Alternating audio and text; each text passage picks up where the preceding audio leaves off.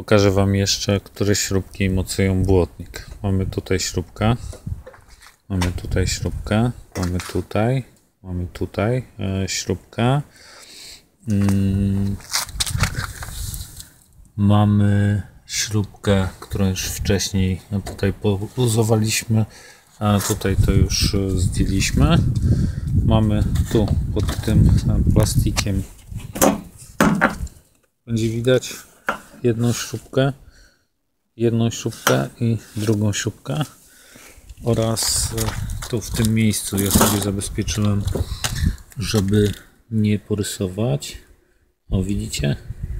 Tutaj jest śrubka, która trzyma błotnik prawy w Mercedesie W210 wersji poliftowej. No to tyle.